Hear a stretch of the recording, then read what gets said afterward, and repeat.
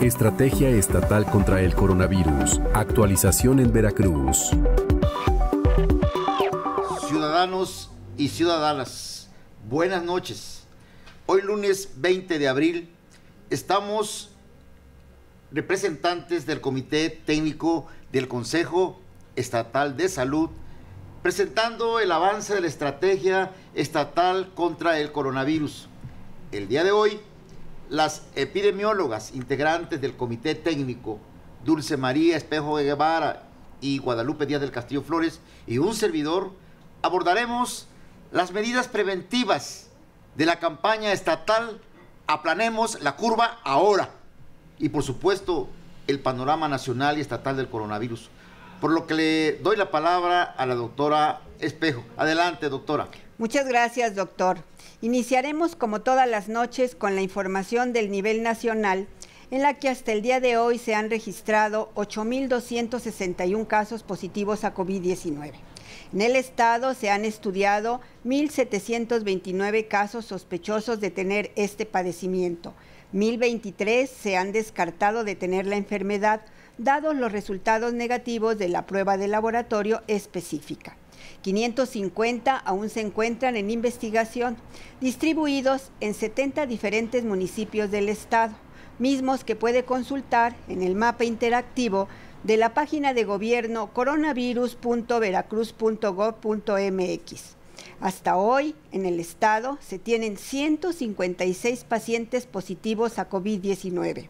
El mayor número de ellos, 75%, son residentes en la región centro, Veracruz 60, Boca del Río 21, Jalapa 5, Córdoba 4, Alvarado 3, Amatlán de los Reyes 3, Emiliano Zapata 3, Martínez de la Torre 2, Medellín 2, Orizaba 2, Ayagualulco, La Antigua, Úrsulo Galván, Coatepec, Perote, Fortín, Cosco, Matepec, Izhuatlán del Café, Nogales, Iztazoquitlán y Río Blanco, con un caso cada uno el 17% en la región sur-sureste. Coatzacoalcos 13, Tlacotalpan 3, José Azueta 3, San Andrés Tuxtla 2, Tres Valles 1, Ángeles Recabada 1, Santiago Tuxtla 1, Amatitlán 1, Cozoleacaque 1 y Minatitlán 1. El 8% en la región norte, Poza Rica 10, Tuxpan 1, Chinampa de Gorostiza 1 y Tantoyuca 1.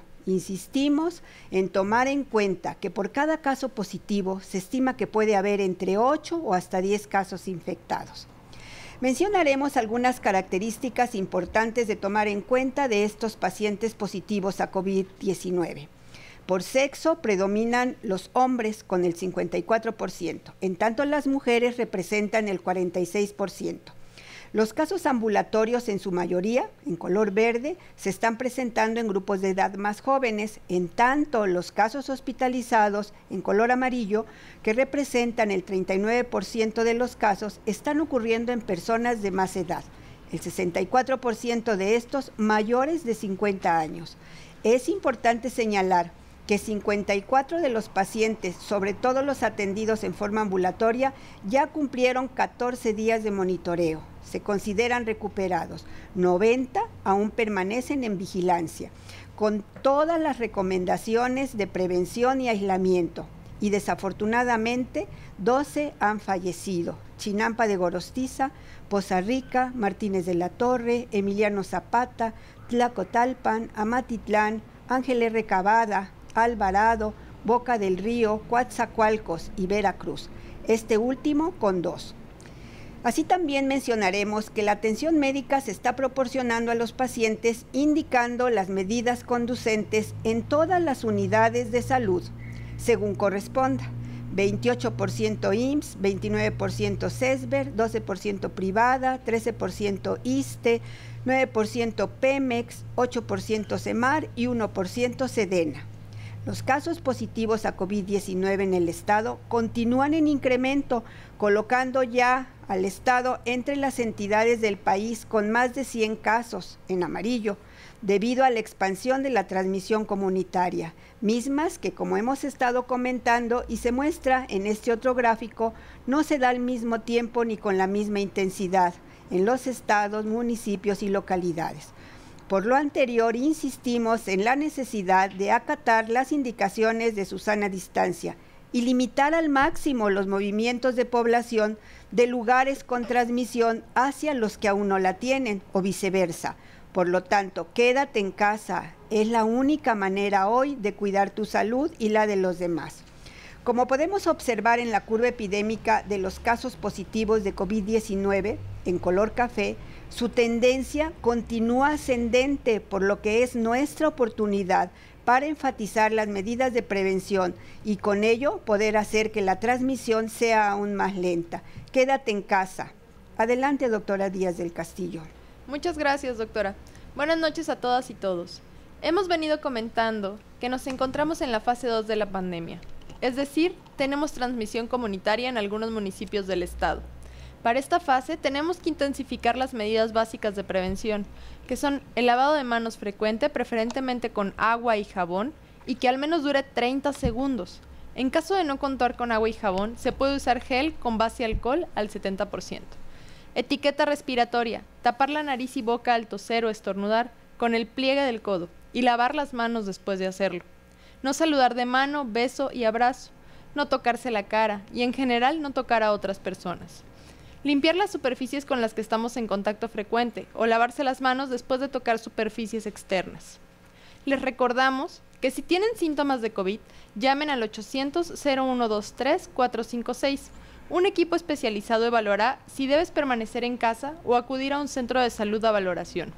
Llama al 911 al presentar síntomas graves, fiebre muy alta, dificultad para respirar que se expresa con respiración muy rápida, respiración muy profunda, coloración azul o morada de labios y manos, dolor en el pecho, dolor en la espalda, pérdida del conocimiento o poca respuesta. Estos síntomas son de gravedad y debes ir pronto al hospital. Eso sería todo, doctor. Muchas gracias, doctora. Muchas gracias. Agradecemos que todas las familias veracruzanas están tomando las medidas de aislamiento domiciliario eso determina mucho cómo se va dando la propagación de la enfermedad. También queremos agradecer a todos los establecimientos de actividades esenciales que acatan las medidas de sana distancia. Es trascendental para este, esta pandemia lo que todos y todas hacemos para evitar su transmisión. Por eso, veracruzanas y veracruzanos, continuamos invitándolos a que se unan y formen parte de la gran campaña Aplanemos la curva ahora, atendiendo las siguientes acciones durante los próximos días. Quédate en casa, mantén la sana distancia, usa el teléfono para comunicarte con familiares y amigos, designa a una persona para realizar las compras indispensables. Realiza actividades en familias como leer, jugar, hacer ejercicio. Evita difundir noticias falsas. Asimismo, les recordamos que aunque los menos afectados son los jóvenes, estos pueden ser transmisores del contagio a sus papás, a sus abuelitos si no siguen las recomendaciones. Estamos ya coordinados con el director general del Instituto Mexicano del Seguro Social, el señor Zoe Robledo, quien precisamente se comunicó con el señor gobernador para informar de las medidas tomadas y la atención que ya se está dando a los casos del hospital número 71 del Instituto Mexicano del Seguro Social de nuestra parte. Ofrecemos dar todo nuestro apoyo a esta gran institución que es de todos.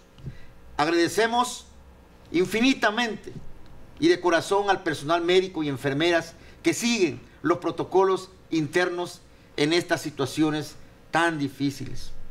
Es importante que ustedes se mantengan actualizados sobre el comportamiento de COVID-19 en nuestro estado.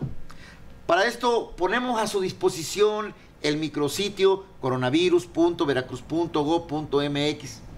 Allí encontrará usted toda la información presentada en este espacio. Si usted presenta síntomas para coronavirus, le pedimos que llame al siguiente número de teléfonos 800 0123 456, el cual es atendido por un equipo especializado en el tema. Ellos lo asesorarán durante el proceso e indicarán cuáles son los pasos a seguir.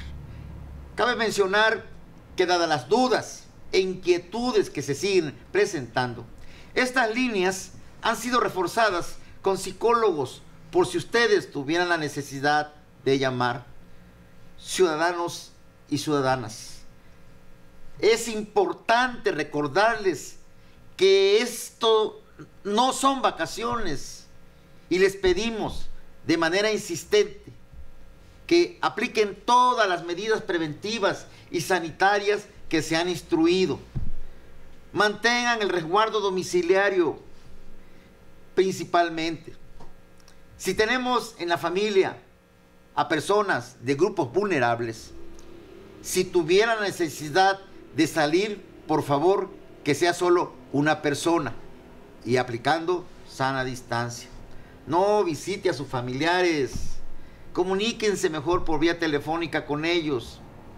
Y por favor, lávense las manos continuamente, ya sea con agua y jabón o con alcohol gel al 70%. Ayúdenos a evitar el contagio masivo. Somos punto clave para bajar la curva de transmisión. Seamos conscientes por nosotros y nuestras familias. Recuerde que si te cuidas tú, nos cuidamos todos. Y por favor, te lo suplicamos, quédate en casa y aplanemos la curva ahora. Gracias y buenas noches.